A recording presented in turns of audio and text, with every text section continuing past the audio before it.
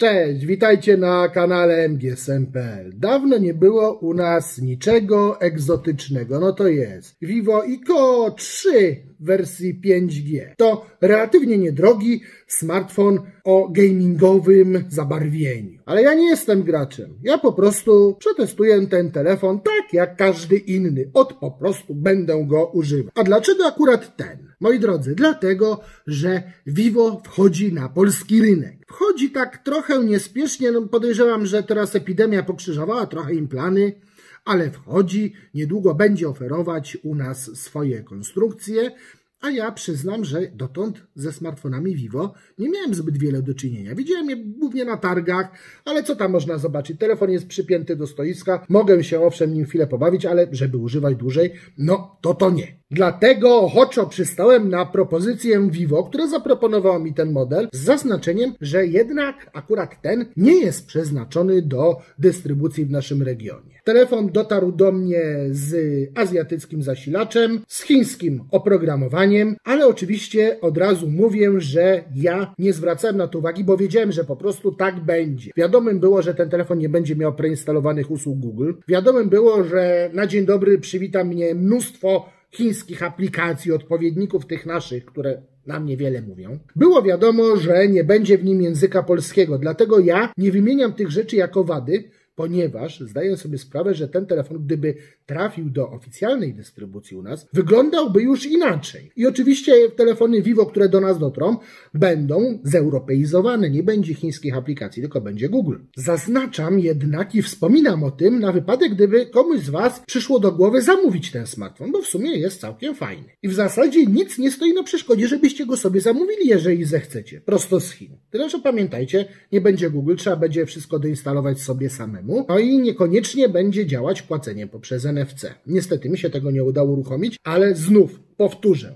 Gdyby ten telefon trafił do normalnej, oficjalnej dystrybucji Vivo Polska, wszystko by działało tak, jak powinno, jak w każdym normalnym, zwyczajnym smartfonie. Po tym przydługim wstępie pora zacząć opowieść o smartfonie. Zapraszam. Aiko 3 dociera w takim fajnym pudełku. O, popatrzcie. Ciekawe, ciekawe opakowanie. Widać, że producent dba o szczegóły, bo w środku wszystko ładnie, starannie ułożone. A co w środku? Poza telefonem mamy jeszcze silikonowy pokrowiec, który chociażby zniweluje problem wystającej oprawki aparatu fotograficznego. Telefon przestanie się kiwać. No i będziemy chronić tył, Tyle, że telefon straci trochę na urodzie, no bo to silikon, wiadomo. Jest też zasilacz. Szybki zasilacz z bardzo ciekawym wtykiem. Popatrzcie, jak ta wtyczka wygląda. Trochę odlot. Wygląda jak pigułka, tabletka. W dzisiejszych czasach to takie trochę dwuznaczne, ale kształt tego wtyku jest nieprzypadkowy. Chodzi po prostu o to, żeby nam to w miarę niewiele przeszkadzało, kiedy będziemy grać albo oglądać film i jednocześnie ładować telefon.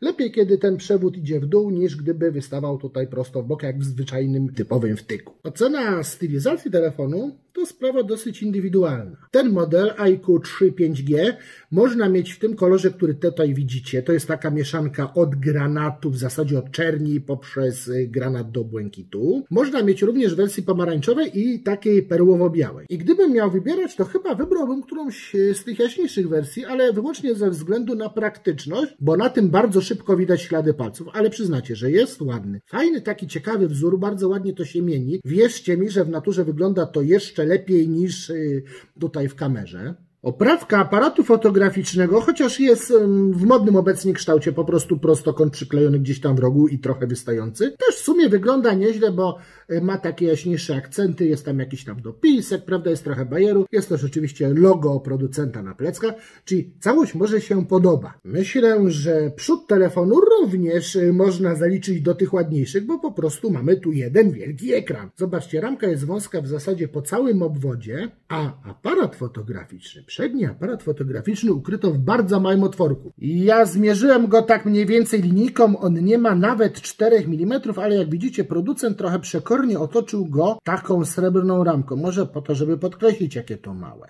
Obudowa jest wykonana bardzo porządnie, a jedyny zarzut z mojej strony to to, że zabrakło w telefonie wodoszczelności. A skoro już o wyświetlaczu mowa, to wyświetlacz jest po prostu bardzo dobry. Działa tak jak wygląda, czyli świetnie. To matryca Super AMOLED o rozdzielczości Full HD, która przy przekodnej 644 cala jest zupełnie wystarczająca. Ekran wspiera HDR10+. Ma też funkcję zwaną Eagle Eye Mode, która ma pomagać graczom poprzez dodatkowe podkreślenie, y, detali poprawiają szczegółowość obrazu, aczkolwiek szczerze mówiąc ja nie zauważyłem jakiegoś tam jej działania, ale wiecie, ja już jestem starszy, mogę nie dowiedzieć. W każdym razie ekran oferuje bardzo fajne, dobrze nasycone kolory, głęboką część, czyli w zasadzie wszystko to, co AMOLEDy mają nam najlepszego do zaproponowania. Oczywiście ekran bezproblemowo daje się obsługiwać, pozostaje czytelny w słonecznej dni, nie ma problemu przy współpracy z okularami polaryzacyjnymi. Producent nie zapomniał też oczywiście o ochronie wzroku. Jest i przerzucanie ekranu takie do czytania, jest jak widzieliście również tryb ciemny. Są też opcje pozwalające sobie doregulować y, natężenie poszczególnych barw składowych i ich temperaturę, czy też kontrast. Czy ten wyświetlacz ma jakiekolwiek niedociągnięcia? Ano ma. Nie ma w nim szybkiego odświeżania modnego obecnie w gamingowym smartfonie, to tak trochę średnio. Jeżeli chodzi o zabezpieczenia, to jak widzicie mamy czytnik linii papilarnych pod ekranem. Działa bardzo dobrze, jest to jeden z lepszych czynników podekranowych, z jakimi miałem dotąd do czynienia. Dosyć szybki, chociaż oczywiście mógłby być szybszy pewnie. Dosyć jednocześnie bezbłędny. Rzadko kiedy zdarza mu się błędnoczy, co strasznie mnie cieszy, bo przeważnie czytniki ekranowe irytują mnie nie tyle tempem pracy, co tym, że muszę przykładać palucha po kilka razy, bo nie zawsze za pierwszym razem łapią. Ten łapie i bardzo mi się to podoba. Całkiem dobrze działa również układ rozpoznawania twarzy. Możemy go używać wymiennie, możemy mieć jednocześnie rozpoznawanie palucha i rozpoznawanie twarzy. I rozpoznawanie twarzy też działa całkiem fajnie. Jest szybkie, radzi sobie nawet w ciemności, bo wtedy podświetla nam twarz ekranem i to mu wystarczy, rozpoznaje nas. Nie daje się oszukać y, na zamknięte oczy na śpiocha. Nie udało mi się oszukać zdjęciem. Oczywiście jak założymy maskę w tej chwili, no to nie działa, trzeba maseczkę odchwylić, żeby nas poznał. Niemniej z układu rozpoznawania twarzy też w zasadzie jestem zadowolony, ale zaznaczam, rozpoznawanie oparte o obraz przedniej kamery nie jest tak pewne jak odcisk palca, bo teoretycznie można to oszukać. Już być może zauważyliście ciekawą animację, która pojawiała się podczas odblokowywania ekranu palcem. A wiecie, że to można skonfigurować. Tu jest do wyboru o rany, ile tutaj tego jest do wyboru. Mogą być różne animacje do y, samego oznaczenia, gdzie przyłożyć palec, mogą być różne animacje do odblokowywania i w ogóle może to być mnóstwo różnego wszystkiego. Ten interfejs, który jest y, w zasadzie oparty o firmowy interfejs y, stosowany przez Vivo, który się nazywa FunTouch. Myślę, że niewielu z nas miało z nim już do czynienia, jeżeli nie mieliście telefonu Vivo, no to raczej nie. Tu jest interfejs, który nazywa się AIKU jest zmodyfikowany ten interfejs FunTouch, ale podejrzewam, że w większości smartfonów Vivo, jakie trafią do nas, pewne elementy tego interfejsu będą, może nawet większą. A czym się charakteryzuje ten interfejs? W zasadzie tym wszystkim co inne, ale pod jednym względem bije te wszystkie inne na głowę. Otóż pozwala się tak totalnie spersonalizować, że po prostu tu jest odlot. Tych opcji tu jest po prostu multum. Bo słuchajcie, można sobie spersonalizować nie tylko przejścia pomiędzy poszczególnymi ekranami, nie tylko to, jak wygląda animacja odblokowywania. Wszystkiego tu jest pełno. Oczywiście tematy ekranowe, no takie standardy tutaj też są, ale ten telefon można tak głęboko spersonalizować, że w zasadzie, jak się uprzecie, to codziennie możecie mieć smartfon, którego interfejs wygląda inaczej. Strasznie mi się to podoba, bo tak naprawdę mamy ogromny wybór, mamy ogromną możliwość dostosowania telefonu do naszych potrzeb, a jednocześnie nikt nas nie zmusza, żebyśmy z tego korzystali. Fajnie, że jest wybór, który się nie narzuca. Tu jest po prostu masa, masa dodatków, masa różnych opcji, które możemy pozmieniać, ale przede wszystkim muszę Wam powiedzieć o kilku takich głównych, najważniejszych cechach tego interfejsu, powiedzmy takich najbardziej użytkowych. Przede wszystkim interfejs może mieć formę płaską albo zasobnikową. Możemy oczywiście mieć aplikacje wszystkie rozrzucone po kolejnych ekranach, możemy mieć zasobników, możemy je sobie dowolnie łączyć w foldery. Panel powiadomień wygląda i działa zupełnie standardowo. Panel skrótów również wygląda standardowo, ale jest dość bogaty. Tam możemy mnóstwo skrótów sobie pochować, mnóstwo skrótów sobie pododawać, więc znowu mamy bardzo szeroki wybór i bardzo mocno możemy sobie telefon dostosować do naszych wymagań. No i mamy, moi drodzy, obsługę gestami, ale na ile sposobów? Przede wszystkim standardowe przyciski w dole ekranu. Po drugie, gesty od dołu ekranu, czyli przeciągamy paluchami w górę ekranu, ale są też gesty pełnoekranowe, na przykład back wygląda wygląda tak, gdziekolwiek byśmy nie przeciągnęli po ekranie, to zadziała. Strasznie to wygodne. Oczywiście nie jest to jakaś cecha wyjątkowa dla tego interfejsu, bo znajdziemy go również chociażby w interfejsie Oppo. Podobna funkcja jest u Xiaomi. Gesty od dołu ma Samsung. Wiadomo, to nic wyjątkowego, natomiast tu jest wybór. Mamy przynajmniej trzy opcje różne do wyboru sterowania, poruszania się po interfejsie, co również znów bardzo mi się podoba, bo zapewnia to, że dostosowujemy telefon do siebie.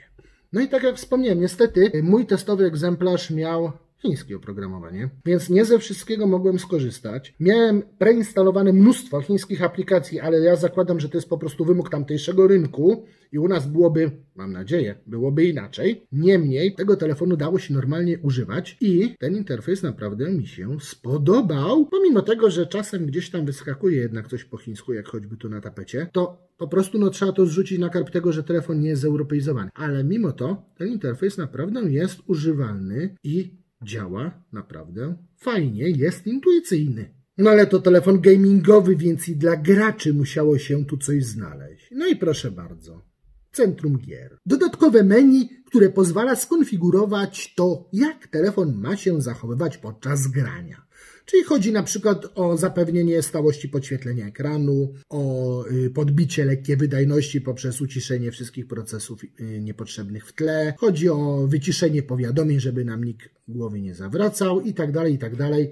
Jest całe menu, w którym możemy bardzo mocno zdefiniować zachowanie telefonu podczas grania. No a skoro już o graniu mowa, to kilka słów o wydajności. Snapdragon 865, oczywiście z modelem 5G. 8 albo 12 giga RAMu. No to jak to ma działać? No to po prostu zasuwa tak, że czapki z głów. Wszystkie gry chodzą tutaj jak marzenie. Oczywiście ja nie jestem wytrawnym graczem, więc może nie do końca powinienem to oceniać, no ale benchmarki nie kłamią. Telefon po prostu jest pioruńsko szybki, a w codziennej eksploatacji no to po prostu petarda. No i tyle, w zasadzie nie ma się nad czym rozwodzić, ale muszę wspomnieć o jednym drobiazgu, który mnie akurat spędza sens powie. Brak możliwości rozbudowy pamięci kartą. Ten model, który ja testowałem, miał 128 GB pamięci wewnętrznej, czyli realnie tak jak jest 110. No i nie uważacie, że w gamingowym smartfonie, ba, w każdym dowolnym, flagowym smartfonie to trochę mało? Bo ja tak.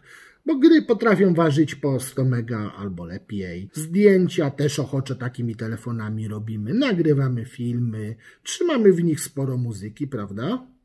No właśnie. No i to 128 giga według mnie w telefonie tej klasy to już jest obciach i powinno być przynajmniej 256 giga. Oczywiście taką wersję też znajdziecie, tyle że no, trzeba dopłacić. Szkoda. Jeżeli chodzi o komunikacyjną stronę ICO 3.5G, nie mam w zasadzie żadnych zastrzeżeń. Jakość dźwięku bardzo dobra. Obsługa połączeń bezproblemowa. Komunikacja tekstowa również bezproblemowa, tyle że musiałem sobie Gboarda zainstalować, bo ta fabryczna klawiatura, no niestety chińska. GPS nie sprawia żadnych problemów. Smartfon nie ma problemów z utrzymywaniem zasięgu, bezproblemowo współpracuje z Wi-Fi. No i tu jest fajna opcja, ponieważ można się połączyć jednocześnie z dwoma punktami dostępowymi Wi-Fi, po to, aby zapewnić lepszą y, przepustowość, lepsze, stabilniejsze połączenie. Szczególnie przyda się to graczom, a do tego jeszcze można kombinować łączność Wi-Fi z łącznością komórkową. Przypominam, jest tu 5G. Oczywiście w Polsce z niego nie skorzystamy, no ale może gdzieś dla kogoś jest to informacja istotna. W smartfonie jest również możliwość korzystania z dwóch kart nano SIM. Przypomnę, nie ma możliwości rozbudowy pamięci. Jest mini jack, no jest głośnik, ale niestety pojedynczy. Pojedynczy głośnik yy, w telefonie gamingowym hmm, trochę tak słabo. No i niestety w dodatku głośnik jest umiejscowiony tak, że jak gramy to dosyć łatwo możemy go zasłonić ręką. Nie do końca mi się to podoba, chociaż sam głośnik akurat działa dobrze. Gra czysto, gra donośnie i na przykład w roli y, urządzenia głośno mówiącego w samochodzie radzi sobie znakomicie. Czas y, na parę słów na temat fotografii. Jak radzi sobie ten dość mocno rozbudowany aparat fotograficzny? Może najpierw kilka słów na temat tego, co my tu mamy. Główna matryca ma 48 megapikseli, obiektyw z przysłoną 1.8. Do tego mamy dwa 13-megapikselowe aparaty, jeden z teleobiektywem, drugi z obiektywem szerokokątnym o polu widzenia 120 stopni. A do tego jeszcze jest malutki dwumegowy aparacik do rozmywania tła. Z kolei z przodu mamy 16-megapikselowy aparat z przysłoną 2,5.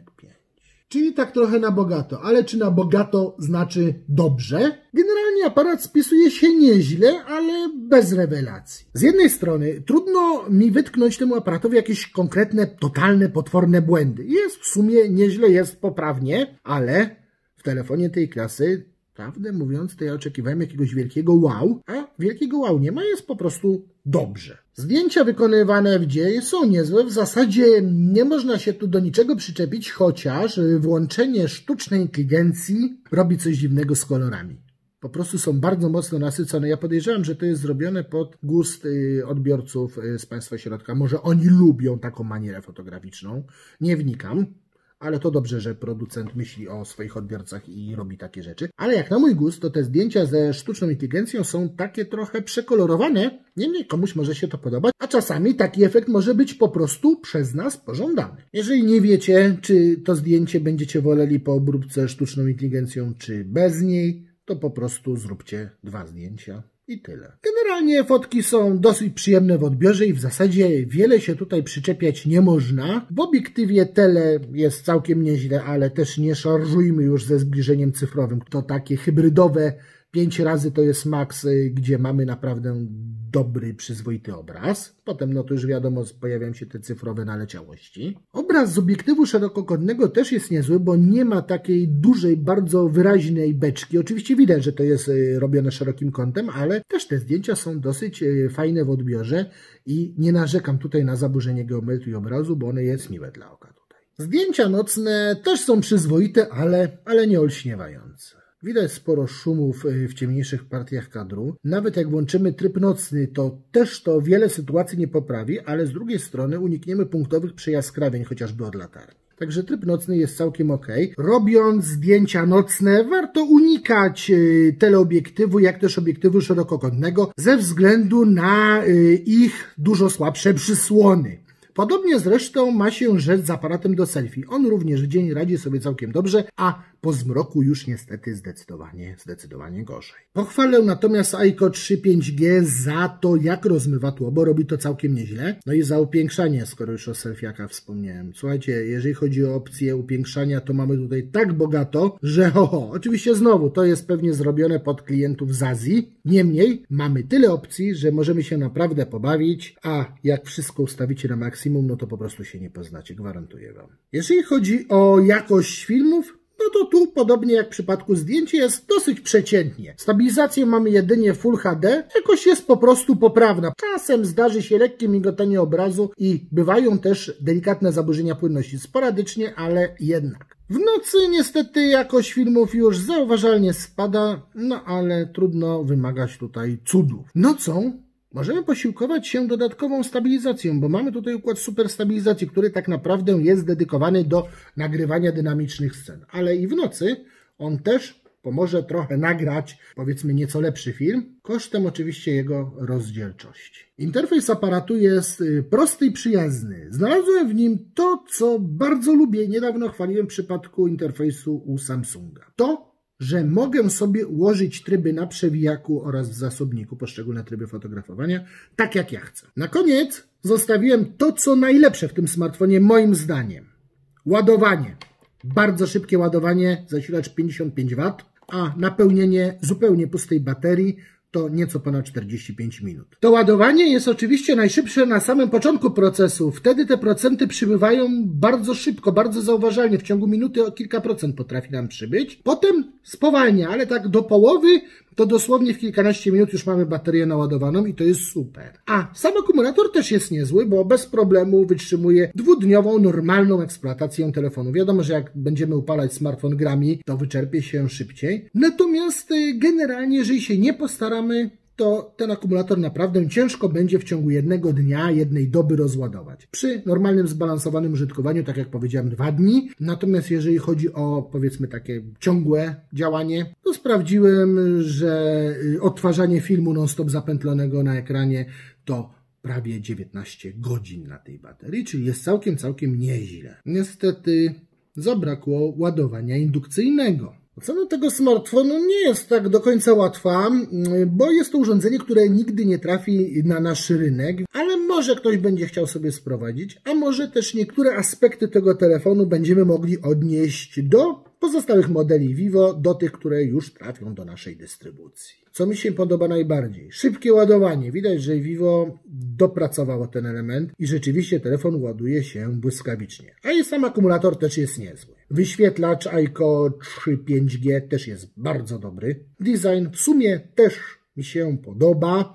Wykonanie telefonu jest oczywiście idealne. Tutaj nie ma żadnych wpadek montażowych. Materiały są jak należy. Gorilla Glass 6 na pleckach. No, brakło wodoszczelności, ale to też nie zawsze nadal się zdarza. Cała konstrukcja jest bardzo w porządku. Wydajność jest rewelacyjna. Aparat fotograficzny mógłby w niektórych aspektach być nieco lepszy, ale Powiedzmy, że też jest dosyć przyzwoity, mieści się w normie, nie ma poważnych wad. Jeżeli chodzi o rozwiązania, możliwości komunikacyjne, jest wszystko bardzo dobrze. No za minus uznałbym to, że nie ma możliwości powiększenia pamięci, a sama pamięć jest no, dość przeciętnej wielkości 128 GB i może dość szybko się skurczyć. Nie wiem, czy powinienem tak do końca oceniać interfejs, no bo bo po prostu nie mam bladego pojęcia w momencie, kiedy nagrywam ten film, w jakiej formie i czy akurat ten dokładnie trafi do modeli, które będą dystrybuowane na naszym rynku. Jeśli tak, to czeka Was obcowanie z interfejsem, który pozwoli bardzo dobrze dopasować smartfon do Waszych wymagań, a jednocześnie będzie dosyć e, wygodny w obsłudze i przejrzysty. No i oczywiście w interfejsie tym nie zabraknie żadnej z popularnych funkcji w rodzaju trybu ciemnego, przerzucania ekranu, obsługi gestami i tak dalej. Używałem tego smartfonu niemalże miesiąc i wiem, że Vivo robi po prostu fajne urządzenia, takie, które spokojnie mogą konkurować na europejskich rynkach i które mogą nawet tam trochę zamieszać. Oczywiście pod warunkiem, że Vivo je atrakcyjnie wyceni. Są na to szanse. Generalnie urządzenie w żaden sposób mnie nie rozczarowało i faktycznie wygląda tak, jak powinien wyglądać sprzęt od jednego z największych producentów smartfonów na świecie. Wszystko działa tak, jak powinno działać, wszystko jest dopracowane, nie ma poważnych wpadek, jest ogólnie ok, a reszta to jest kwestią ceny. A skoro mowa o cenie, no to tutaj też może być różnie, zależy od tego y, skąd będziecie ten telefon sprowadzać. Generalnie licząc y, sprowadzenie z Chin i to, że po drodze tam dowalą jednak y, podatek, to wychodzi w okolicach 3000, czyli tak na poziomie adekwatnym do tego, jak ten telefon jest wyposażony, jak wygląda i jak działa. Od po prostu będzie kolejny producent na naszym rynku z kolejnymi ciekawymi, interesującymi i godnymi rozważenia propozycjami. Czy odniesie sukces? Nie mam pojęcia, ale fajnie, że będziemy mieć większy wybór, bo wybór dobrze jest mieć, prawda? I tym kończymy nasze spotkanie z egzotycznym gościem ICO 3 5G. Do zobaczenia w kolejnych filmach. Oczywiście dziękuję Wam bardzo za oglądanie i za suby i za łapy w górę i tak dalej. Trzymajcie się. Serwus.